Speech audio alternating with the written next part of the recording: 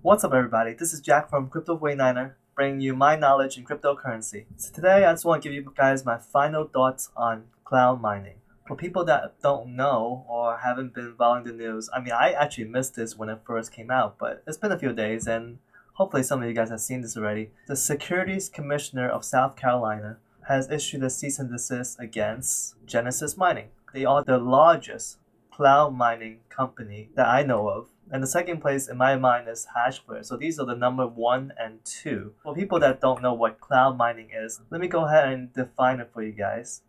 So cloud mining is the process of leasing computing resources to mine cryptocurrencies. And that's really no problem with the Securities Commissioner of South Carolina. Problem is with the contracts that Genesis Mining sells to its customers and specifically customers that reside in the state of South Carolina in the United States. What they're complaining about is if you go through the PDF that they have here, they are saying specifically that the computational effort put forth by respondent Genesis Mining is designed to generate a stream of cryptocurrency units. The value of each cryptocurrency compared to United States dollars varies widely, and the number of cryptocurrencies units generated by respondent Genesis Mining's efforts is based on a variety of factors.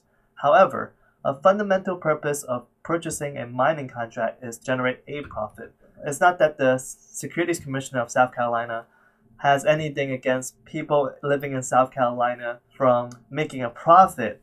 If you promise to make a profit for somebody via these contracts, these contracts become security instruments, and that's why you need to be a licensed broker dealer. The definition of security is a security is a fungible, negotiable financial instrument that holds some type of monetary value. And that's essentially what these mining contracts are. They hold some type of value. And you need to be a broker dealer to sell these type of contracts. So a broker dealer is a brokerage firm that buys and sells securities on its own as a principal before selling the securities to customers. I mean, it doesn't completely fit into that box of the broker dealer for Genesis Mining because they're not actually buying and selling these securities. They're actually creating these securities in a sense because they are creating these mining contracts. But essentially, a lot of the different financial instruments that is traded on in the stock market, like options and things like that, are actually basically just contracts. Options is a, is a contract. So in this case, a mining contract is still a contract, and that's what the state of South Carolina considers these contracts as security instruments. But that doesn't mean cryptocurrencies themselves are considered as securities by the SEC of South Carolina, just the mining contracts themselves. That's why Coinbase and other exchanges are safe in this regard. So a lot of people are confusing. They're thinking, oh no, it's like the SEC of South Carolina now thinks that cryptocurrencies are securities. At least a lot of the YouTubers I've been seeing videos talking about this subject are saying that that's not the case here the SEC of South Carolina didn't say that cryptocurrencies are securities because right now, as defined by the IRS, cryptocurrencies are properties.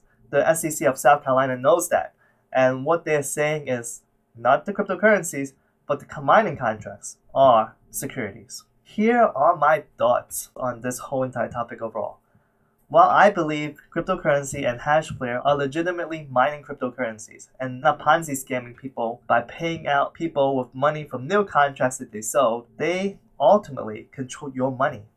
Unlike a bank, which have FDIC insurance, at least in the United States, or even stocks or bonds, which entitle the holder to recoup some of their investments, even if it is really pennies on the dollar, like what happened to Bear Stearns and Lehman Brothers during the financial crisis, these mining contracts do not guarantee anything if there are any issues with these companies. In addition, you can't do anything if these companies decide to restrict withdrawals to specific minimums or increase maintenance costs if there are any attached to the contract.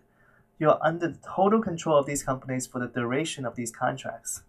I mean, it's really true because I know if you bought the Bitcoin mining contracts from Genesis Mining, there's supposed to be no maintenance fee. But the withdrawal minimums, they can change it at any time. And I've seen that with Hashflare. I experienced it with Hashflare. And I'm sure that's the case with Genesis Mining as well. They can just make it as high as they want to, to a point where like you cannot withdraw it at any point in time unless they feel like it. And the other thing is the maintenance cost. Again, I've seen this happen with Hashflare, even though this complaint, this cease and desist isn't against Hashflare, but they this just shows you that these mining companies have total control because Hashflare has been increasing the maintenance cost for my Bitcoin mining contract. And I have no control over it. They can increase as much as they want to, to a point where like I'm getting nothing. And I'm sure people will, compl- will be complaining if that happens.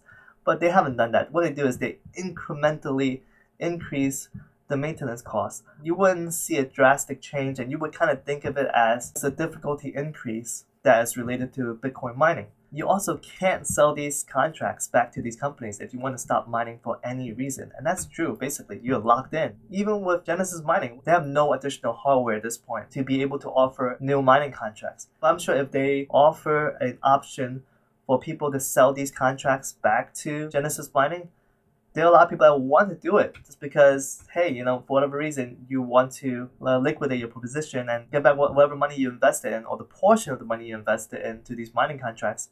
You can't do that though, and that's the reason why. It's just like it's it's really frustrating for people, and I can see why a cease and desist has been issued to Genesis Mining. So that's why I will no longer promote or talk about any cloud mining companies going forward. I will also remove all referral links to cloud mining companies as I believe we should all be responsible for our own investments at all times. It really comes down to it as at all times, not half the time, not part of the time, not 5% of the time. It's gotta be at all times. So that's my video for today. Let me know what you guys think. Let me know why you guys think cloud mining is good or cloud mining is bad. Let me know if you guys agree with my stance or not. I really want to hear about it. Click on the like button for me and click on the subscribe button for me if you haven't done so yet. I really, really appreciate you guys. If it isn't crypto, it isn't worth mining, it isn't worth speculating. I'll see you guys tomorrow. Peace out.